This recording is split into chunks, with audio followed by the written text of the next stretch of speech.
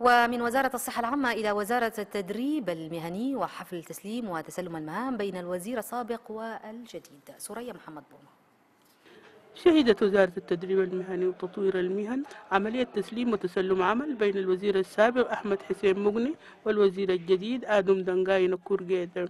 بحضور العديد من العاملين بالوزارة في الكلمة التي قدمها الوزير السابق شكر العاملين لوقوفهم معه أثناء فترة عمله ولم يقل شكره للحكومة.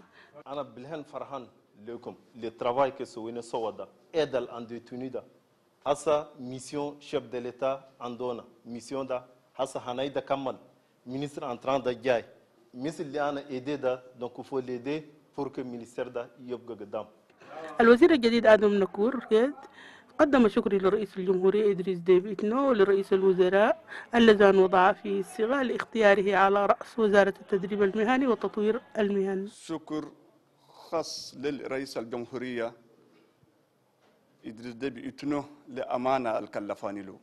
ونشكر شخصيا وزير أحمد حسين مغني للأمل على سواق قبال. وإن شاء الله أنتم الأوين والرجال قاعدين كل لازم تقوفوا ما يسوى مش الوقوف ما الميسون حق ينجى في الأمل الهسا كلفونا له. وكان ذلك بحضور الأمين العام المفوض لدى الحكومة عبد الله الصابر.